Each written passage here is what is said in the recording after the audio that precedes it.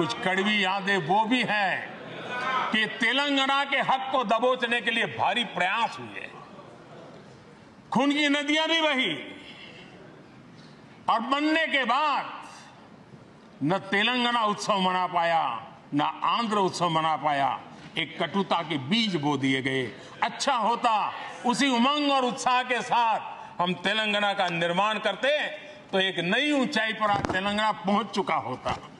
कुछ कड़वी यादें वो भी हैं कि तेलंगाना के हक को दबोचने के लिए भारी प्रयास हुए खून की नदियाँ भी बही।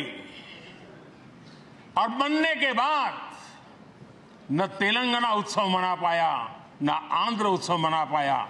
एक कटुता के बीज बो दिए गए। अच्छा होता, उसी उमंग और उत्साह के साथ हम तेलंगाना का निर्माण करते तो एक नई ऊंचाई पर आज तेलंगाना पहुँच चुका होता।